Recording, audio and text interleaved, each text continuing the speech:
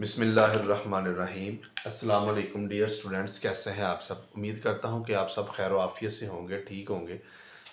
प्यारे बच्चों हमने एक टॉपिक शुरू किया हुआ है, जिसका नाम है joint stock company ICom part two की बुक से हमने इसको स्टार्ट किया हुआ है। तो हमने इसके पहले जो चार सवाल हैं, वो भी कर लिए हैं। हमने इसके question number six and seven भी कर लिया है। क्योंकि पेपर पॉइंट ऑफ़ व्यू से यही क्वेश्चन जो थे, ये इम्पोर्टेंट क्वेश्चन से। तो कुछ स्टूडेंट ने कमेंट्स किए और मुझे मैसेज भी किए कि sir question number five and question number eight लाजमी अपलोड करें। तो आपके लेवल पे वैसे क्वेश्चन नंबर जो एट है वो इतना इम्पोर्टेंट नहीं है। फिर भी मैं बेटा लाजमी इसको अपलोड करूँगा। इन अज़ीज़। अच्छा ए, अगर हम बात करें क्वेश्चन नंबर फाइव की तो क्वेश्चन नंबर फाइव भी इम्पोर्टेंट क्वेश्चन है पेपर पॉइंट ऑफ़ व्यू से। हम अपने क्वेश्चन के सोल्यूशन की तरफ़ चलते हैं जी। हम पढ़ते हैं क्वेश्चन के अंदर हमसे डिमांड क्या किया जा रहा है। हमने क्या कुछ प्रिपेयर करना है। क्वेश्चन है जी, कहता है a trading corporation was formed with an authorised capital of rupees one lakh ordinary shares of rupees ten each कहते जी, एक ट्रेडिंग कॉरपोरेशन है, वो एक लाख शेयर्स के साथ उसने अपने आप को रजिस्टर्ड करवाया, क्योंकि ऑथोराइज्ड कैपिटल वही कैपिटल होता है जिसके साथ कंपनी अपने आप को रजिस्टर्ड करवाती है। कहते हैं जी वन लैख कार्डनी शेयर्स है और हर एक शेयर की वैल्यू जो है वो रुपीज़ टेन है। फिर कहता है on first January 2022 the company issued 60,000 shares to the general public and 10,000 shares were issued to a vendor Mr. Asgar from whom company had acquired machinery worth rupees एक लाख कहता है कंपनी ने क्या किया है कि कंपनी ने यकम जनवरी 2022 को ये डिसीज़न लिया है कि कंपनी 60,000 शेयर जो है वो जनरल पब्लिक को इशू करेगी तो ज़ाहिर बात जब जनरल पब्लिक को इशू करें तो जनरल पब्लिक हमें एप्लीकेशन भी सबमिट करवाएगी उसके बाद ये फैसला हुआ कि टेन थाउज़ेंड शेयर्स हमने एक वेंडर है, मिस्टर असगर। उसको शेयर इशू करने हैं। क्यों? क्योंकि कंपनी ने मिस्टर असगर से मशीनरी खरीदी है, जिसकी कीमत है एक लाख रुपया। कहते हैं जी application were received on ten January दो हज़ार बाईस only for fifty thousand share हमने इशू साठ हज़ार करने हैं। हमारे पास एप्लीकेशन कितनी आई है? पचास हज़ार। On twenty January two thousand twenty two shares were allotted to the applicant कि जिन एप्लीकेंट्स ने हमें एप्लीकेशंस भेजी हैं कंपनी ने क्या किया है? कंपनी ने उनको शेयर्स अलाट कर दिए हैं। अच्छा जी, कहता है जी, आपने करना क्या है? आपने जर्नल एंट्रीज पास करनी है कंपनी की बुक में और बैलेंस शीट भी बनानी है। बिल्कुल ठीक है, हम दोनों चीज़ें बनाते हैं। ये देखिए जी, ये आपके सामने मैंने फॉर्मेट बना लिया हुआ है। जर्नल का भी और बैलेंस शीट का भी हम सबसे पहले जर्नल की तरफ़ चलते हैं। अच्छा बेटा, इसमें एक बात आपने याद रखनी है कि जो आपने मशीनरी ख़रीदी है, उसकी एंट्री आप लाजमी पास करें, क्योंकि आपको पता चल जाएगा कि हमने जो वेंडर को शेयर देने हैं, वो क्यों देने हैं। ठीक हो गया? अच्छा जी, सबसे पहले कंपनी ने क्या किया है? 2016 फ़र्स्ट जनवरी को। कंपनी ने एक मशीनरी खरीदी तो हम एंट्री पास करते हैं जी मशीनरी का अकाउंट डेबिट और जिससे खरीदी, उसका नाम है मिस्टर असगर, और मिस्टर असगर को हम कर देंगे जी क्रेडिट हमने एक लाख रुपए की मशीनरी खरीदी है। एक लाख से मशीनरी डेबिट क्योंकि हमारा एसेट है, और एक लाख से मिस्टर असगर क्रेडिट क्योंकि हमने इसके पैसे अदा करने हैं। हम लिखेंगे मशीनरी परचेज हमने नरेशन लिख ली थी। क्या हमने परचेज किया जी? मशीनरी परचेज हो गई। अच्छा ये थी हमारी पहली एंट्री हमने यकम जनवरी को ही उसको टेन थाउज़ेंड शेयर इशू कर दिए किसको? मिस्टर असगर को। जब मिस्टर असगर को शेयर्स इशू करेंगे तो हम एंट्री क्या पास करेंगे? मिस्टर असगर अकाउंट डेबिट क्यों मिस्टर असगर डेबिट हुआ है? क्योंकि हमने मिस्टर असगर से मशीनरी खरीदी तो हमारी ज़िम्मेदारी थी इसको एक लाख रुपया देना। हम अब इसको एक लाख रुपए के गेंद जब शेयर इशू कर देंगे तो मिस्टर असगर को हम क्या कर देंगे? डेबिट क्योंकि हमारी ज़िम्मेदारी कम हो जाएगी। अच्छा ये ख़त्म हो जाएगी। उसके बाद जब आप शेयर इशू करते हैं तो आपको पता है आपके पास शेयर कैपिटल आता है। तो हम लिखेंगे जी शेयर कैपिटल अकाउंट क्रेडिट आप ऑर्डनरी शेयर कैपिटल भी लिख सकते हैं, आप शेयर कैपिटल भी लिख सकते हैं। कैसे जी? Ten thousand shares multiply ten क्योंकि उसने क्वेश्चन के अंदर खुद बोल दिया कि हमने उसको दस हज़ार शेयर्स देने हैं। अगर वो ना बताता तो फिर हम इसकी वर्किंग करके शेयर्स निकाल लेते। हम क्या लिखेंगे जी? शेयर्स इशू टू वेंडर क्योंकि ये नरेशन है।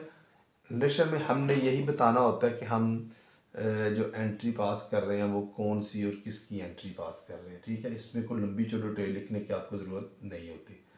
अच्छा ये हो गया।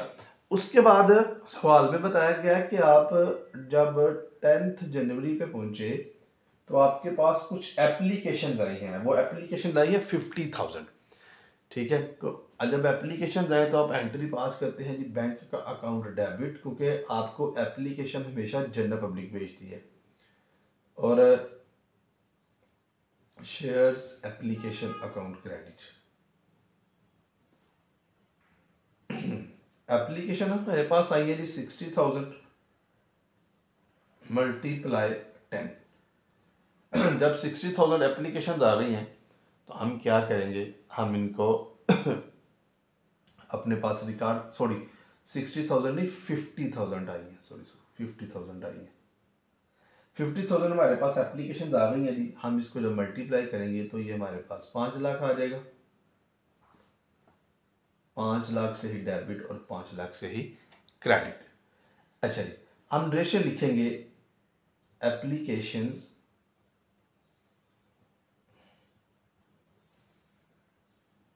received विद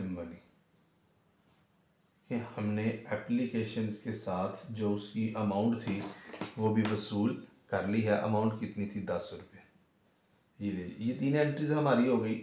अगर हम, अब हम लास्ट एंट्री की तरफ़ चलते हैं कि जिन लोगों से हमने एप्लीकेशंस ली हैं, हमने उनको शेयर्स भी इशू करने हैं। तो हम शेयर्स कैसे इशू करेंगे? उसने बोला, जी ट्वेंटियथ जनवरी को आपने शेयर्स इशू किए हैं। सिंपल एंट्री क्या है? आप कर दें शेयर एप्लीकेशन अकाउंट डेबिट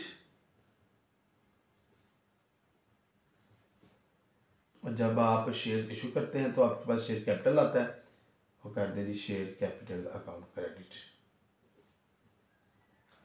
आपने फिफ्टी थाउज़ेंड एप्लीकेशन के अगेंस्ट शेयर इशू करने हैं, क्योंकि आपके पास एप्लीकेशन ही फिफ्टी थाउज़ेंड आई है, ज़्यादा आई नहीं। तो ये आपके पास पाँच लाख आ जाएगा।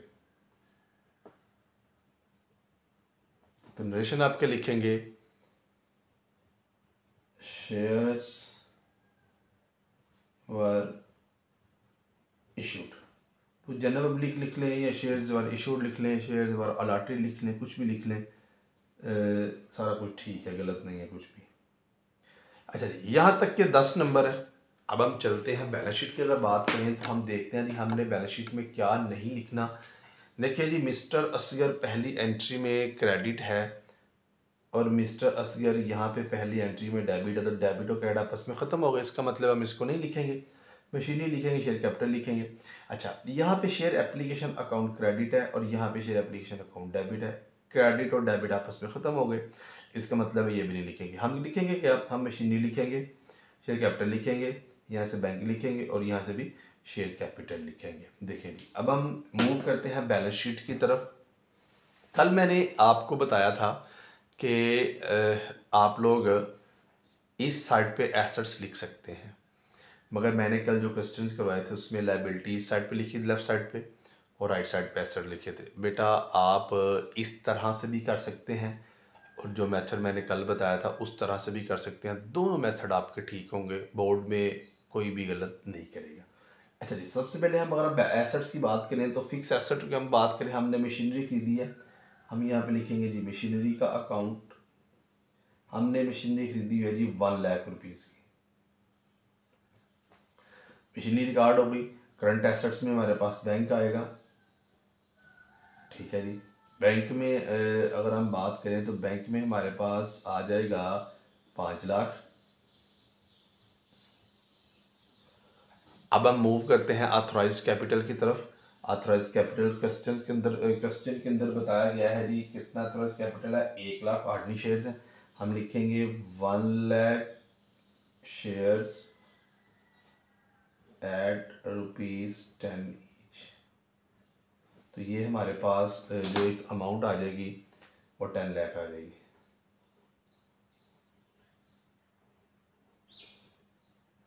तो इसको आपने, आपको पता होना चाहिए कि इसको आप टोटल के अंदर इंक्लूड नहीं करते। ये जस्ट हमने यहाँ पे बताना होता है कि हमारा अथॉराइज कैपिटल कितना है। इसलिए इसके नीचे लाइन लगा दी है issued subscriber paid of capital के अंदर हम क्या लिखते हैं कि जिन जिन लोगों को कंपनी ने शेयर्स इशू किए हैं, वो लिखते हैं।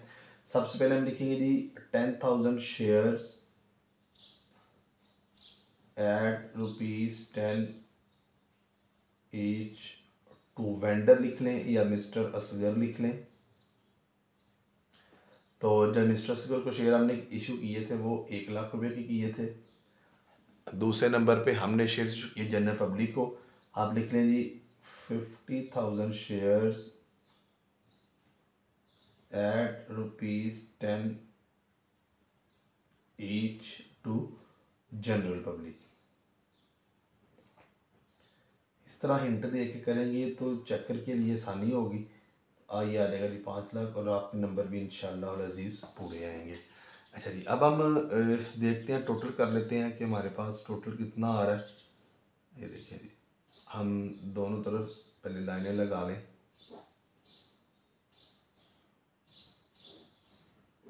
इसको अंडरलाइन लाजमी किया करें यहाँ पे क्वेश्चन ख़त्म हो जाता है। अच्छा जी, अगर बेटा हम टोटल करें तो टोटल अगर हम लाइबिलिटी साइड टोटल करें तो हमारे पास आ जाएगा सिक्स लैख